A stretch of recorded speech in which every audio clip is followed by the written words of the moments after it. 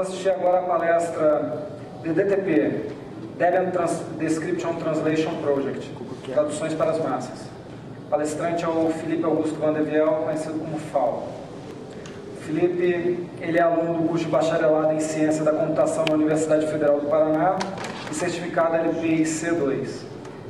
Como desenvolvedor Debian, uma das suas principais áreas de atuação no projeto é o trabalho de tradução L10N e infraestrutura de internacionalização I18N, trabalhando nas ferramentas de apoios aos times de tradução e localização do Debian. Ele é administrador de redes e sistemas, é voluntário em alguns projetos nacionais como BR Office, Mozilla BR, PostgreSQL BR, Debian Brasil, colaborando com a manutenção de serviços para equipes de desenvolvimento e grupos de usuários. Foi palestrante em versões anteriores do FISLE e em outros eventos nacionais e internacionais de renome, como Conisle, Latinoair, Ottawa Linux Symposium e DebConf. Com vocês, Felipe.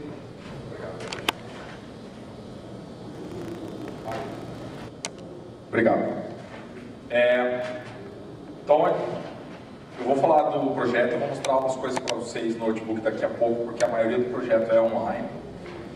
É, a maioria das coisas está em site e no final daí a gente fica com tempo para perguntas, tá? Vai ter tempo para fazer perguntas. É, o, o, DDTP é muito antigo, ele só foi colocado dentro, oficialmente dentro do Debian agora em 2008, na DebConf 8, mas ele existe como projeto desde 2001, mais ou menos, e ele é o sonho de um cara chamado Michael Brummer, que é o Grizu, que é um alemão, que é bombeiro, ele não é programador, principal atividade dele durante o dia é ser bombeiro, a programação dele é um hobby, Debian para ele é um hobby, e ele projetou o DDTP. É, o sistema de descrição de pacotes foi uma das metas dele, porque a Alemanha, assim como a França, são uma das principais comunidades tradutoras do mundo. É, embora os povos saibam falar bastante inglês, uma boa parte da população fala inglês, é, eles têm uma, uma grande preocupação em que os, os, os artigos, ferramentas estejam no idioma nativo deles. Então, a descrição de pacotes é a primeira coisa que o usuário de Debian esbarra. É o primeiro item que todo usuário de Debian vai encontrar. O, gerenciador de pacotes é extremamente eficiente, mas até 2008 uh, ah, você tinha só as traduções, você só tinha as descrições de pacotes em inglês. Então, por mais que as ferramentas, os ambientes gráficos e uma série de outros itens já tivessem traduzidos, o site, as descrições de pacotes ainda estavam em inglês. Então, os usuários, quando fossem procurar um software, quando fossem instalar alguma coisa, iam encontrar é, esse software todinho, essa descrição todinha em inglês. Então, o que, que aconteceu? O, o, o Grizu projetou isso inicialmente. Ah, isso funcionou até 2003, quando teve o primeiro comprometimento dos servidores Debian. É, naquela ocasião, o código-fonte, como não foi dado como deixou de ser dado como seguro código-fonte, uh, o projeto ficou parado durante dois anos, até que foi retomado em 2005, sob uma nova casca, sob uma série de novos itens. E em 2006, a Extremadura, a região da Extremadura na Espanha, doou o AX18N, que é uma máquina chamada Chupo, é, que é a 18n.debian.net, que foi a máquina que viabilizou todo o conjunto de ferramentas que a gente usa hoje uh, dentro da X8N do Debian, incluindo outros serviços que eu vou falar para vocês mais no final. Nessa nova máquina foi instalado o DTTS, que é o Debian Description, Debian Description Translation Server, que é o servidor. Ele é basicamente Perl com Postgres e a principal função dele é coletar as descrições, separar elas, identificar elas e juntar elas com as traduções. Então, o ciclo de desenvolvimento do DTP é, você tem o tradutor, ele tem duas interfaces de interação com o projeto, que é ou por e-mail ou via o DDT, DDTSS, que eu vou falar para vocês daqui a pouco como é que essa ferramenta funciona, é uma ferramenta web. E o DDTP é uma série de, é um conjunto grande de scripts que faz toda a parte de divisão, separação, classificação, identificação, ah, para daí gravar uma base que está dentro lá da I18N. É, isso funciona desde 2005, muitos de nós trabalhavam nisso 2006, 2007, e o que aconteceu foi que isso nunca entrou no Debian. Então, vários times de tradutores deixavam isso em baixíssima prioridade, porque era um trabalho de tradução que não aparecia. Você traduzia, traduzia, traduzia, mas os usuários não viam o resultado da sua tradução, exceto para alguns projetos. Por exemplo, o BRCDB durante um tempo usou essas traduções. Então era um trabalho não perdido, mas não aproveitado. E muitos times deixaram isso em segundo plano. O que aconteceu daí? É... A primeira coisa foi que durante a DebConf 8, a gente fez a integração final na, na infraestrutura do DAC, que é o Debian Archive Kit, que é o que recolhe as traduções e publica elas no repositório. E aí agora entra uma estrutura de como o repositório do Debian funciona é, e como uma série de aspectos desse, como é uma série de aspectos desse trabalho. Então é assim, a primeira coisa dessa ferramenta é um cara chamado Packers, que está aqui, pessoal,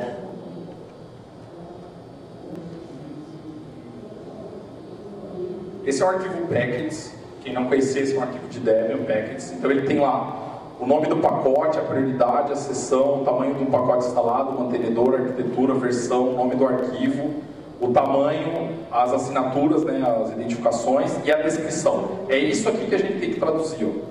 Esse aqui é o trabalho de tradução. E essa aqui são as tags. Uma linha em branco e daí vem outro pacote logo depois. Então esse é um arquivo packets, ele existe há muito tempo no Debian. E os arquivos packets daí passaram a dar origem aos arquivos translation graças ao DTTP. O translation é assim.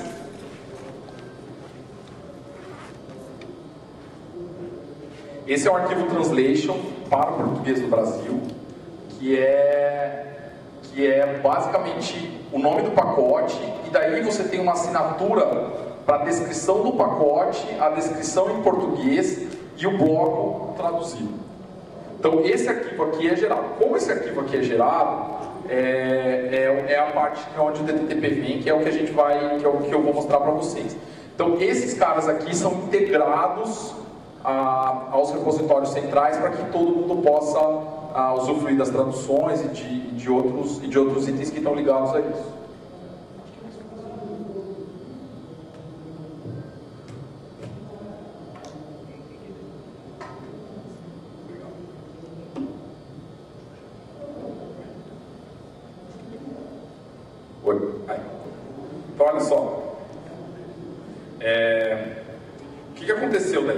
Antigamente a gente só traduzia por e-mail e depois, depois quando, quando a gente mudou e foi para a interface é, mais nova, a gente passou a ter, a ter tradução via web, que é um facilitador. Essa aqui, esse aqui é o DTTP, que são as estatísticas do servidor. Então esse gráfico que vocês estão vendo aqui são todas as traduções. Cada linha, cada linha é um idioma e aí ela marca a quantidade de pacotes que já estão traduzidos. E depois você pode descer ah, você vai ver umas estatísticas condensadas por idioma. Então, por exemplo, aqui está o português do Brasil. É, a gente tem 4.700 traduções ativas, 1.400 delas estão desatualizadas, quer dizer que o mantenedor mudou alguma descrição, é, de um total de 8.113 traduções. Isso quer dizer que a gente traduziu coisa que não está mais no repositório, o pacote foi removido, mas ainda está no banco de dados. Depois desse cara aqui, ah, inclusive fica até fácil de perceber umas coisas. Ah, esse aqui é o gráfico do, do PTBR. É, tem, um, tem uns eventos clássicos aqui. Você vai ver que só tem, só tem estatística a partir de 2003 é, e você tem um, um, um afundamento lá em 2007.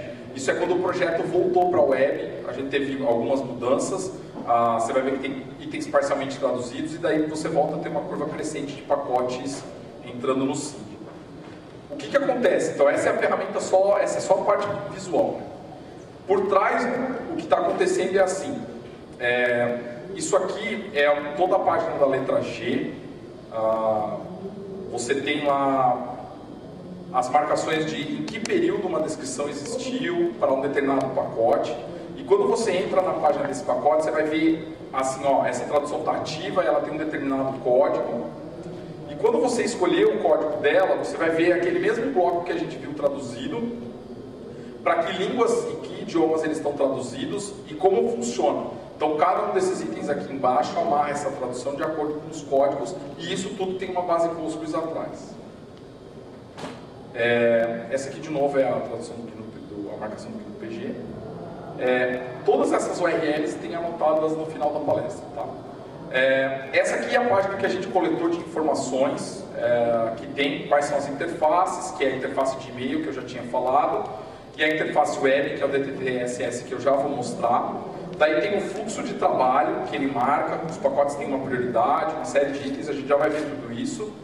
É, e aí aqui eles definem regras comuns e outros aspectos de tradução mesmo, isso que, como eu falei, vocês vão ver depois, é, tem os links para vocês verem. E o DDTSS é um dos caras que tornou as traduções bastante populares. Elas passaram a ser extremamente utilizadas é, porque ele facilitou bastante a tradução. Esse aqui é o DTTS, que tem a parte de estatística dos idiomas. Então, tem as traduções pendentes, as traduções em revisão e as traduções já enviadas. É, e esse aqui é o DTTSS. Ele é um pouco confuso no começo, mas basicamente você tem na coluna da esquerda uma lista de itens que estão para serem traduzidos uma lista de itens que foram recentemente traduzidos e lá embaixo você tem uma lista de itens que tem a revisão pendente. Então, se você escolher um item qualquer aqui, por exemplo, ah, ah, deixa eu escolher um mais. Escolher o IC8 aqui, por exemplo, é isso que aparece. Você tem a tradução em inglês, embaixo você tem um campo para traduzir, você tem um bloco em inglês e um bloco para traduzir. Você traduz, marca, a gente tem, o time brasileiro tem um sistema de marcação, você marca, diz que você aceitou com as mudanças, aceitou do jeito que estava, lá embaixo ele mantém um log das ações que foram feitas, e quando essa tradução passar por três revisões, ela entra no banco de dados e o banco de dados passa a gerar o translation. Esse translation é, vai ser gerado, esse puta eu vou mostrar depois para vocês. O translation vai ser gerado no repositório desse jeito aqui, ó compactado num BZ2, dentro de um diretório chamado i18n, copiado para todos os espelhos, então qualquer espelho que você esteja usando faz isso, é, e vai ser baixado pelo seu, pelo seu cliente de, de pacotes quando você usar o cliente normalmente. Então, pra, só para ter um exemplo aqui, a, esse aqui é o Synaptic, que está aberto, configurado para português, e essa aqui é a tradução do 3D Chess. Então já é o 3D Chess localizado. Então o usuário pode procurar e usar o sistema daí no idioma dele mesmo. Isso está baseado no translation. Mas para isso acontecer, você tem que você tem que usar o sistema no idioma. Então é assim, a... quando você faz uma atualização, eu deixei pré-feita aqui, porque eu não sabia se ia ter internet ou não.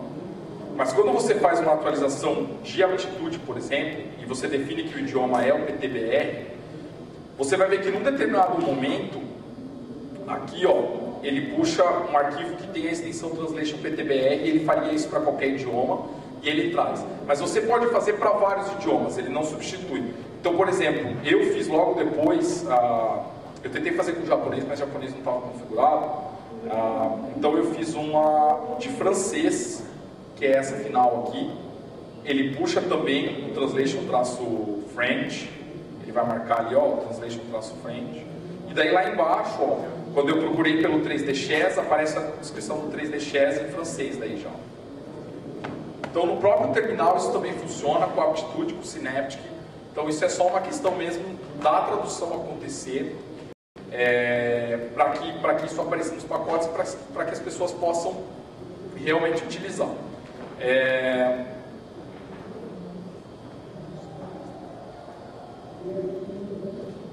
Vou voltar aqui. Isso. Essa é uma tradução já feita. Mas a outra coisa que o DTTS passou a fazer daí, que a gente passou a plugar inteligência no DTTS, foi puxar os pacotes por prioridade. Então, no DTTS, você vai encontrar sempre disponível um ranking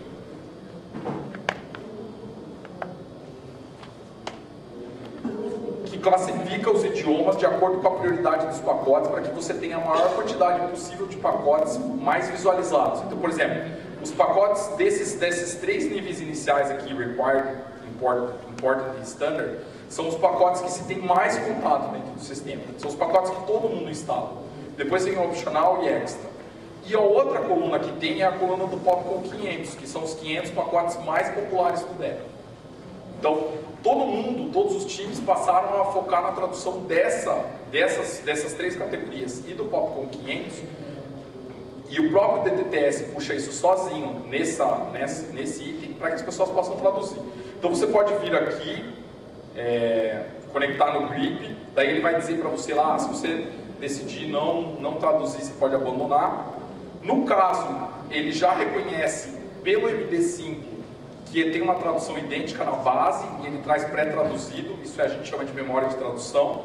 E a parte de baixo, que ele não tem traduzida, ele traz só com aquele trans para você substituir. Então você pode vir aqui, traduzir esse item, adicionar as tags do time e lá embaixo você vai dar um submit, que está bloqueado agora porque não está traduzido. A hora que você alterar o campo traduzir alguma coisa, ele habilita.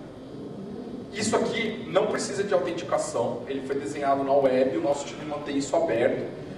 No entanto, o ideal é que você é, se autentique e se identifique para facilitar os ciclos de revisão. Você vai ver que no final aqui, para facilitar, eles ainda mantêm um TIFF, que é o que mudou de um pacote para o outro. O que mudou para esse item não, tá, não estar mais traduzido dentro do DEB para facilitar o trabalho do tradutor e identificar. Porque muitas vezes é, o cara trocou lá, de nome estava escrito com letra minúscula e passou a ser todo com letra maiúscula. Mas como o DTTP só trabalha com parágrafo, você vai perder a referência. Então, às vezes, é só copiar o parágrafo de tradução anterior e trocar o nome e reenviar. Isso é um dos itens que a gente está planejando para a DebConf desse ano, que é adicionar a capacidade do DDTS identificar o tamanho do delta. O que, que mudou entre um parágrafo e outro que, que se realmente foi, por exemplo, nos casos de kernel, toda vez que troca o kernel, os drivers que dependem de um kernel, por exemplo, tem assim, driver Ateros para o kernel 2.6 alguma coisa. Toda vez que isso alguma coisa muda, a gente perde a tradução. Então a gente está tentando colocar no kernel inteligência para no kernel no DTTSS para que ele detecte que é só a versão que mudou de uma para outra e faça isso sozinho. Então esse é um dos aspectos que a gente está trabalhando em cima do DTTSS e do DTTP para poder fazer, para poder agilizar a vida dos tradutores. É... Deixa eu voltar aqui. Tem mais, tem mais algumas coisas que eu quero falar para vocês sobre o trabalho que a gente está fazendo daí nessa área. É... E daí a gente volta, volta para mostrar mais um aspecto do servidor. Não, na verdade, vamos fazer o contrário, que daí a gente já fica Foi? Tá bom. É...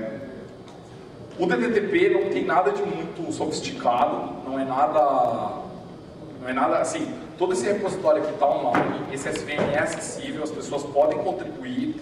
O pessoal do Japão tem trabalhado bastante para acertar vários itens de interface. Mas isso aqui é para vocês, por exemplo, terem uma ideia do que é que a gente faz. Então é um script Perl que converte o arquivo no arquivo de tradução. Então você tem, é um script Perl mesmo, que conecta na base e faz o que ele precisa fazer, não tem nada de... Tudo bem, Perl, mas é, faz uma série de, de, de, itens, não são scripts grandes. Esse aqui, por exemplo, tem 90 linhas. Ah, e aí você tem uma série de scriptzinhos para fazer isso. Então, do arquivo de tradução para o banco de dados, do arquivo pro, pro, pro, pro, do formato de arquivo normal para o formato de tradução, ah, do, do banco de dados para a web, tem uma série de itens aqui que são feitos assim. É, o último item que tem aqui é o Puto, e daí a gente vai falar do Puto, ah, eu vou mostrar o Puto para vocês, vou explicar por que, que ele vai entrar. O Puto só trabalha com PO, vocês viram que a gente não trabalhou, eu não falei nada de PO até agora, que é um formato conhecidíssimo de tradução, é, porque originalmente as descrições não, não usavam essa abordagem. Então, no caso do package a gente viu, o translation a gente viu, o DDTSS a gente viu, a, o DTTS satélite é o DTTS que quer dizer Debian Distributed Translation Service Satellite. Foi, foi até um evento muito interessante, porque o Michael desenvolvia o DTTP sozinho, ele é alemão, e o Martin, Martin é um holandês, e ele resolveu ajudar a equipe dos holandeses de tradução, e como a interface de e-mail era muito ruim, a interface de e-mail é bem simples, na verdade, você só consegue traduzir um arquivo de cada vez, a revisão é super chata de fazer, ele escreveu o DTTS-S de forma passiva, ah, o DTSSS usava a interface de e-mail, então você tinha uma interface web, você pedia um pacote. O DTSSS daquela época mandava um e-mail, pedia a tradução, catalogava numa base local, o cara fazia a tradução, depois ele enviava o e-mail para atualizar.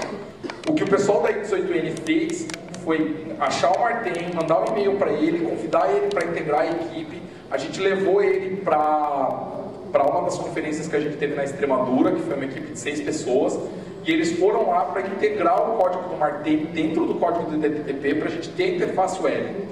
A longo prazo, a interface web do Martin vai acabar sendo substituída. Então é assim, essas são as metas do DTP para o Squeeze. Como no Lene a gente já saiu com tradução, isso quer dizer, se você instala uh, o, o, um desktop Debian hoje, ou até um servidor, e usa, você usa lá a opção de língua, ah, eu quero no idioma português do Brasil, isso quer dizer que as suas descrições de pacotes já vêm traduzidas. É, nesse caso, para o Squeeze, que é o que a gente quer ajustar em tempo, tem duas grandes mudanças a caminho. É, um novo formato de pacote, que é o TDEB, que é o Translation Deb, que vai mudar a forma como a gente lida com os binários. Os binários, do, os pontos DEB, do DEB, são históricos, eles ainda tem a versão 1.0, ah, eles têm um formato específico, e os TDEBs surgiram em 2006 numa discussão na Extremadura, ah, mais especificamente a gente não estava nem na sala de, de, de, de projetos, a gente estava no jantar, que foi é, o Ubuntu, há um tempo atrás, criou os Translation Packs, que não são exatamente a melhor forma de resolver o problema de tradução, porque ele pega uma série de itens e põe num pacotão de idioma e você tem que baixar. E a gente queria um jeito de um usuário poder ter só a tradução dele. Muitos de vocês talvez conheçam o Locale Purge, que é um cara que remove todas as traduções de outros idiomas e reduz em até 50% o espaço consumido do disco. O que a gente queria era que o Locale Purge não fosse necessário. O TDEB passa a ser um ponto DEB é, que está ao lado do, do DEB normal, que contém só as traduções de tudo do pacote. Então, é, isso foi extremamente discutido, porque a ideia original era um TDEB por idioma, isso gerava um impacto gigantesco no repositório, isso significava de 10 a 15 pacotes a mais por pacote. Então você pega 22 mil pacotes, multiplica por 15, era um número novo de pacotes. Não só o sistema de arquivos sofreria, como os espelhos e uma série de outros itens. Então, bastante discussão foi, desde 2006, feita em cima desse. Uh, e os FTP Masters, que são os responsáveis pelo DAC e pela geração desse tipo. E um, um grupo de seis pessoas trabalharam em cima da nova especificação de TDEPs, é, e hoje os devs estão implementados dentro do Debian, que é o Embedded Debian, para sistemas embarcados. Os TDEVs já são uma realidade, eles já funcionam. E uma instalação básica de Debian, usando TDEVs ah, completa para um desses dispositivos embarcados, incluindo Apache, servidor de e-mail e outros itens, é 400 MB menor do que uma instalação normal, usando TDEVs porque eles só instalam um único idioma de tudo, page, uma série de outros itens. Então, os DDEVs são extremamente interessantes, inclusive para os espelhos ah, poderem cortar. Ah, um espelho pode dizer que ele só carrega francês, ele só carrega as traduções de francês, ou ele só carrega as traduções de um par de idiomas. Então, provavelmente, por exemplo, os espelhos das Américas vão carregar inglês, português do Brasil ah, e espanhol. Os espelhos da Europa provavelmente não carregarão português no Brasil, carregarão português de Portugal e os idiomas da, da, dessa área. Então, é uma outra forma de diminuir a carga de tráfego em cima de rede, de outros aspectos. Então, o TDEV deve substituir algumas das coisas que a gente faz, porque o TDEV vai habilitar os times de tradução a mudar os pacotes sem mexer com o mantenedor. Hoje, para você atualizar uma, uma tradução dentro do Debian, você tem que passar na mão do mantenedor, ele tem que pegar a tradução, incluir no pacote e subir o pacote. O que o TDEP vai fazer é dar a possibilidade do time de tradução enviar um pacote traduzido. Então, só a parte traduzida. Você não vai mexer no pacote binário, você só vai mexer no PO e no MO, que são as, as contrapartidas de tradução que a gente tem. Ah, isso está sendo feito direto no DAC, que é o Debian Archive Kit, pelos FTP Masters. Então esse suporte está sendo adicionado direto lá. E o Puto, que é o cara que a gente falou, é um servidor Python, escrito em Python, ah, desenvolvido pelo pessoal da África do Sul, que é uma interface web de tradução que trabalha com PO, que é o formato mais conhecido de tradução. E o DTTP já está preparado para exportar os POs direto para o Poodle e já tem times trabalhando em cima da tradução do Poodle do Debian, que é o poodle.debian.net, exatamente para a gente fazer teste. A gente já está fazendo isso desde 2006 também. Ah, mas como todas as coisas no Debian, a gente tem extrema cautela em promover uma, uma ferramenta como ferramenta oficial. É, essas, essas ferramentas juntas são a contrapartida ah, de tradução para facilitar a parte de interação web.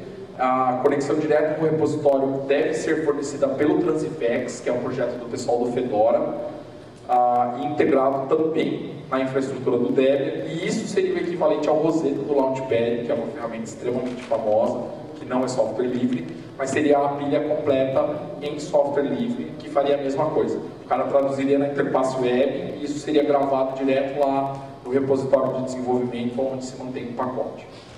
É, essa meta a gente não sabe se a gente chega nela, por exemplo, até 2010, uh, mas, mas o DTTP é um dos passos no sentido de porque a filosofia do Debian, como é seu sistema operacional universal, o DTTP é um dos passos no sentido de você ter uh, a maior quantidade possível de tradução nas, nas interfaces. Para vocês terem uma ideia, por exemplo, um, um, dos objetivos do time de 18N é traduzir todos os readme.debian que tem. Então, quem conhece Debian sabe que lá no user share doc tem um readme. tem o nome do pacote, tem um readme.debian para vários pacotes que explicam detalhes específicos do pacote existe um projeto para traduzir isso. Então, de uma forma ou de outra, isso vai acabar, por exemplo, entrando nos TDEBs e em outros aspectos. Uh, o TDEB é uma forma de resolver esse problema para fornecer esse tipo uh, de recurso para os usuários, para que você possa ter documentação no seu idioma uh, nativo.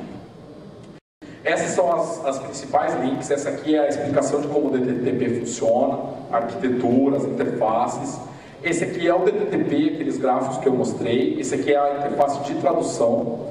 Esse aqui é o Pluto. Tá? É, teoricamente, se acessar ele aqui com DTTSS, ele deve te mostrar as strings do DTTSS. Sem o, opa, sem o DTTSS aqui, ele deve te levar para a tradução do DI, por exemplo.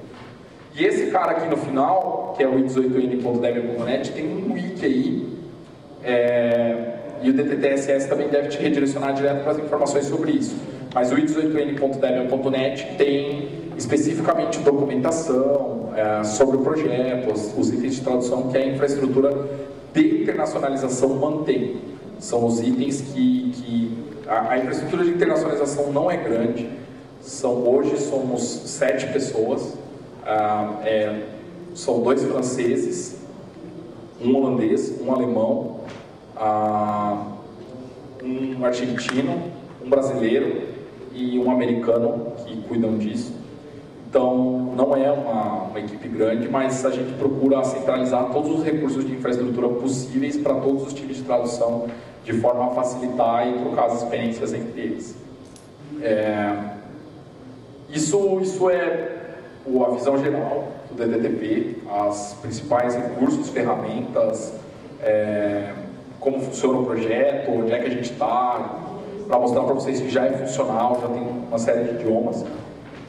E esse é o meu e-mail, se vocês tiverem dúvidas e outros itens, e acho que daí a gente tem tempo para perguntas, uns 10, 15 minutos, 20, 20 minutos. Temos 20 minutos para perguntas a partir de agora. Na verdade, são duas perguntas. Né? Uma, você já, acho que você respondeu parcialmente quando você falou sobre a questão do, dos pacotes de tradução lá do futuro. Uh, que, Quer dizer, eu não sei como é que está a questão basicamente de, de, projetos, por exemplo, como o Google também faz tradução de descriptions, como é que se tem essa integração, se vai e volta, ou basicamente cada um trabalha basicamente loca, localmente, tanto nos seus POs quanto nas suas descrições, tá? Ou seja, como é que vocês estão trabalhando essa questão de alguns projetos que se baseiam em Debian, se eles se realimentam ou não essa questão de tradução? Essa seria a primeira pergunta. Outra pergunta é o seguinte, você falou um pouquinho da questão de botar um pouco mais de inteligência nas traduções, nas diferenças, né? Para ver se é só problema de capitalização ou mudança de espaçamento, número de versão. E aí até coloca talvez a sugestão ou a pergunta, uh, questões principalmente de ortografia ou de, a gente viu o Cobru que fez a apresentação aqui da questão de correção gramatical, né? Será que seria interessante integrar também esse tipo ferramenta de auxílio uh, aos tradutores para garantir a consistência do texto? Na verdade, reduzir até os trabalhos de revisão que o pessoal está fazendo. Aumentar um pouco a inteligência do sistema para botar um ferramental que facilite descobrir quais são as diferenças e ajudar a fazer a correção também ortográfica gramatical dentro do sistema lá no site. Só, eu não entendi o negócio da sua primeira pergunta. É, sua primeira pergunta você está falando de integração entre quem? Ah, as traduções, por exemplo, que o pessoal do mundo faz para pacotes, os POs. No Rosetta. No Rosetta, por ah. exemplo, mesmo de distribuição, de descrições. Tem uma realimentação ou basicamente fica só tá. no Ubuntu, por exemplo? Entendi. E outros projetos derivados do Debian, também acontece isso, deles fazerem só para eles, ficar só para eles, não voltar para vocês a tradução. Me parece que tem às vezes muito trabalho Entendi. duplicado. É, a das traduções funciona assim. É, a primeira coisa é que o Rosetta hum, é assim, é, é, uma ferramenta bonitinha, mas ordinária, é, porque ela não, lida, não lidava com copyright, por exemplo, ela não tinha parte de controle de direito autoral. E quando a gente reclamou inúmeras vezes para eles disso, eles finalmente adicionaram uma cláusula que diz que tudo que você traduz no Rosetta é deles. Então tem vários tradutores que não concordam com isso, eles não concordam com a transferência do direito autoral. Então, especificamente o Rosetta, como ele é uma interface gigantesca, a, especificamente do DDTP, das descrições de pacotes, a gente implementou, o, na verdade o Michael implementou direto com o Martin o feedback, que é o suggestions, que é assim, se o cara traduzir uma descrição de pacote ou corrigir ela no Rosetta, o Rosetta usa uma API que a gente tem para sinalizar isso de volta e aparece na, no DTTSS, naquela interface web, aparece lá, sugestões. Na verdade, a gente não implementou isso por causa do Rosetta, a gente implementou isso por causa de uma distro que tem é, na Espanha, que é uma, uma Pure Blend, que é uma distro baseada em Debian, e eles já tinham muito mais eles tinham eles têm muito mais pacotes que o Debian específicos então eles não têm interesse em pôr esses pacotes no Debian. E eles queriam poder traduzir isso dentro da interface. E aí a gente criou essa área de sugestões para fazer isso. Então essas traduções voltam via via via Rosetta via DDTSS para descrições de pacote. Para a parte de PO é, dentro do Debian a gente classifica em três tipos de tradução as traduções nativas, que são de, de ferramentas do Debian, por exemplo, Aptitude, a, a PTGet, ferramentas do Debian mesmo, que você, o Debian é o upstream, é o Debian que desenvolve a ferramenta, que é o nosso foco principal as traduções de mensagens de interação com o usuário, que é o que a gente chama de BioDebConf, que é o DebConf, que são quando você instala um pacote, ele diz lá, ah, o pacote vai precisar reiniciar o Apache, tudo bem? É essas mensagens que a gente traduz, que são a segunda prioridade, e aí a terceira categoria é todo o resto, é o que está fora do Debian. Então, por exemplo, o Gnome. O Gnome é um caso onde você tem equipes fortíssimas de tradução traduzindo o Gnome, é, e a tradução vem pronta do Gnome. Então, os times do Debian não atuam nisso. Tem um, tem um time de português no Brasil que atua direto na tradução do Gnome. Quando o Gnome é empacotado, essa tradução vem junto. É, nos, nos três casos, é, depende de time para time o que acontece. Então, por exemplo, no caso do PO, em que a gente é upstream, muitas vezes o pessoal do lado Rosetta só reaproveita ou só reescreve. Então, por exemplo, sou eu, eu sou o principal do Aptitude. Então, quem usa o Aptitude do Ubuntu usa a minha tradução. Mas o Rosetta permite que tradutores do Ubuntu sobrescrevam a minha tradução. Isso já deu briga antes, não comigo, mas em outros times. Por exemplo, o time italiano do Ubuntu uma vez sobrescreveu todas as traduções do Gnome e quebrou no meio a tradução. E daí deu uma briga gigante porque ninguém tinha autorizado, enfim, porque o Rosetta às vezes dá mais permissões para o tradutor do que ele deveria ter. Porque, porque, quem sabe, na verdade, é o mantenedor do pacote que está acontecendo, né, geralmente. Então, então essa, esse é um caso onde o Rosetta foi além do que ele deveria. É, mas isso não volta. Era isso que eu ia falar. Essa tradução, quando ela acontece lá, não volta a menos que o cara pegue o PO e volte no repositório aqui atrás, entendeu? A menos que o cara me mande um bug report. Já aconteceu, por exemplo, do time do Ubuntu Brasil entrar em contato com a lista de tradução do Debian Brasil para falar, ó, a gente pegou esse erro de tradução em tal pacote que são vocês que mantêm. E a gente traduziu aqui para eles não terem que traduzir lá de novo. É, a gente tem uma iniciativa da Linux Documentation Project, é, que é a LDP Brasil, que é tentar manter os times em sincronia com vocabulário, com ortografia e com esse tipo de ação, para não ficar duplicando esforço. Se você conhece quem é o upstream da tradução, manda para ele, porque daí você não tem o retrabalho de ficar ficando corrigindo de novo toda vez que o pacote vier. É, tem certas coisas que a gente tem que corrigir, não tem jeito. Ah, muitas vezes em tradução existe uma confusão de que tradução significa facilitar, tradução não é isso. É, muitas vezes a linguagem do texto é difícil, ela é técnica. E tem uma vertente de tradução recente de brasileiros que acha que você tem que reescrever o texto para facilitar e assume que todo usuário é bobo, entendeu? Ele não vai ser capaz de ler e aprender sozinho. Então, muitas vezes a gente no Debian tem que aplicar patch nas traduções para as traduções voltarem a ser fiéis ao, ao texto original. É, isso cobre daí a parte de você devolver. Então, depende muito de time, depende muito de pessoa, depende muito de projeto. Sobre a parte do, do futuro, da, da, da, parte das, das descrições e, e, e, de outros itens, é, o que, o que assim, a, as descrições, elas têm, primeiro que a base das descrições é muito gigante, né? as, as descrições são 22 mil pacotes, é, um sem fim de, de, itens específicos. A Carol, é, vocês viram ali no telão, a Carol é uma, é uma das tradutoras, ela está sentadinha ali.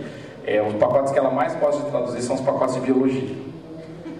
É, sequência de DNA, cadeia de mutação. É um linguajar extremamente. É um parágrafo de aula de biologia, assim, onde você não sabe. E a tradução disso é muito chata. A tradução desse, desse, dessa, dessa parte específica é muito chata. É, então, as ferramentas que você tem para esse tipo de inteligência, como o Q, essa, por exemplo, a tradução de biologia, sim, é uma coisa que, dependendo da IA que a gente tivesse implementado, ela teria quebrado completamente. Então, uma das coisas que a gente se preocupa muito é que a ferramenta sirva para todos os times.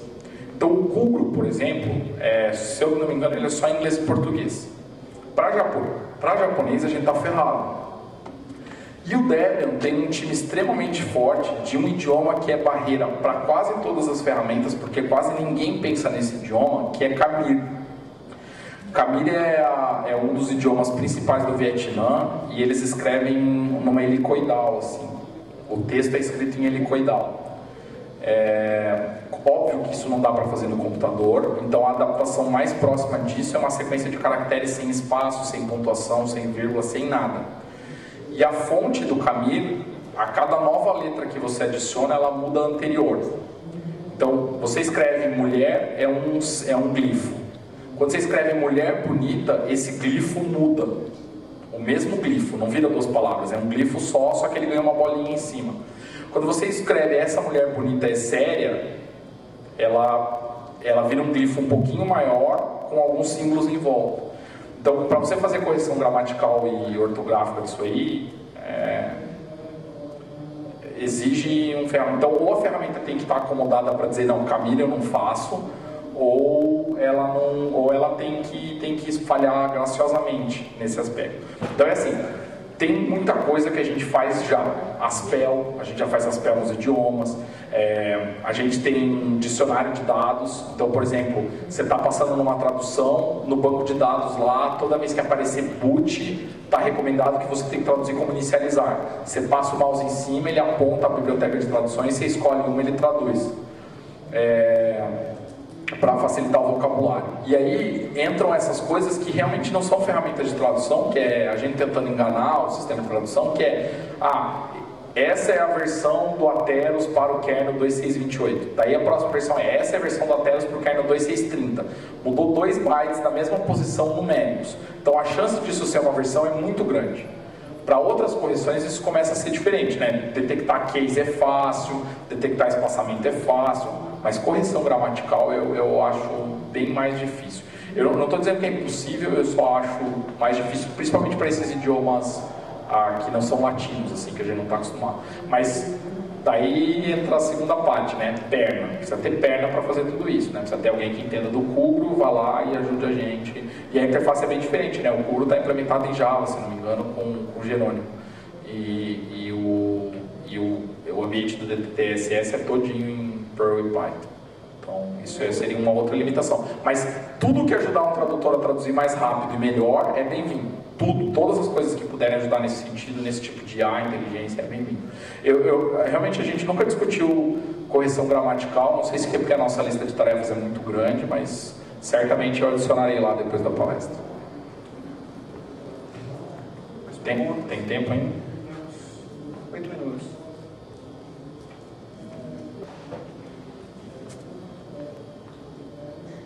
Oi, Felipe.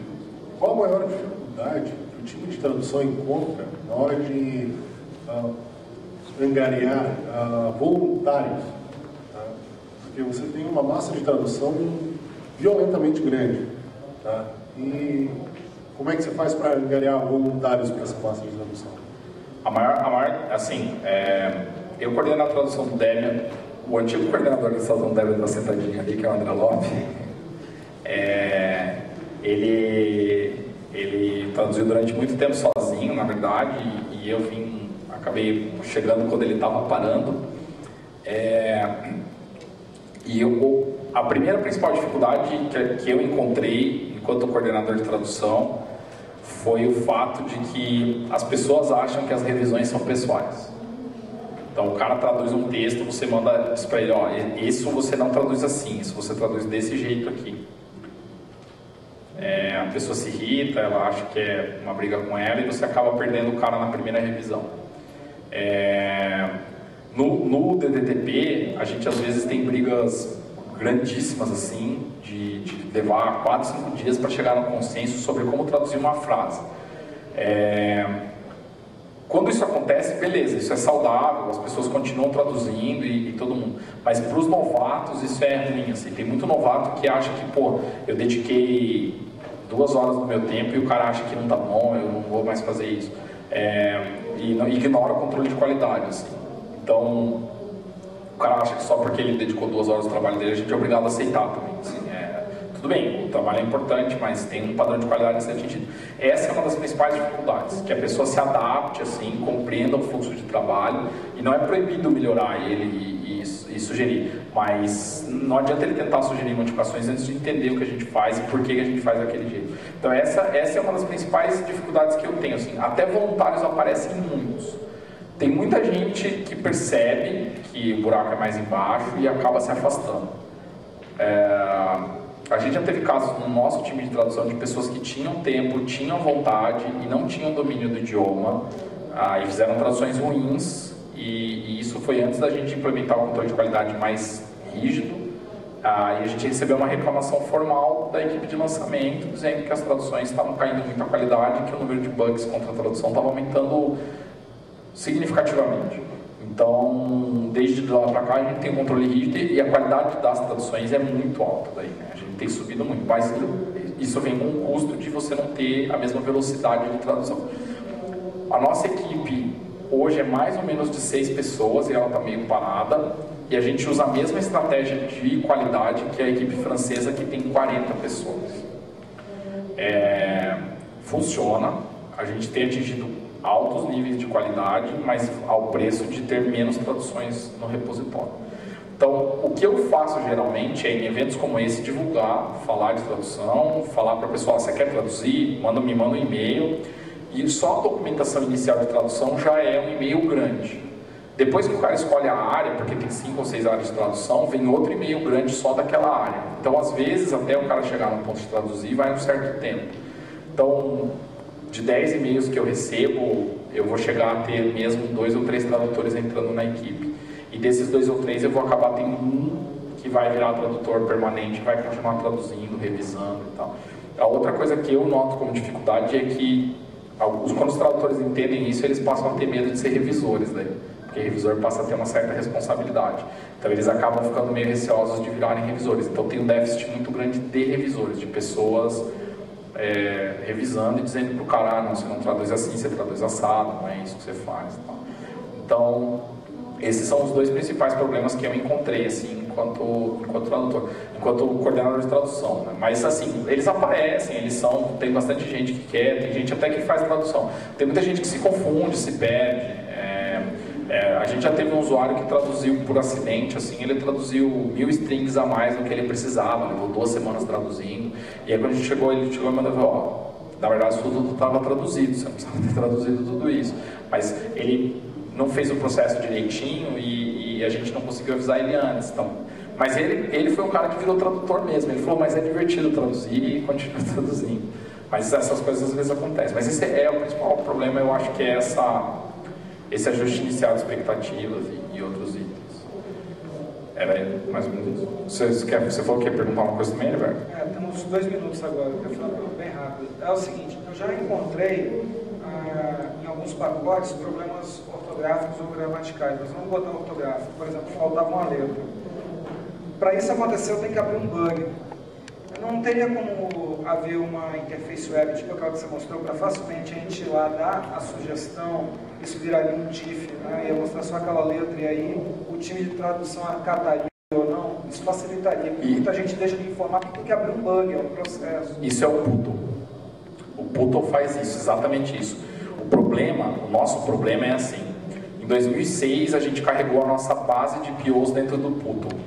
Quando a gente chegou em 40% do primeiro idioma, o Puto travou.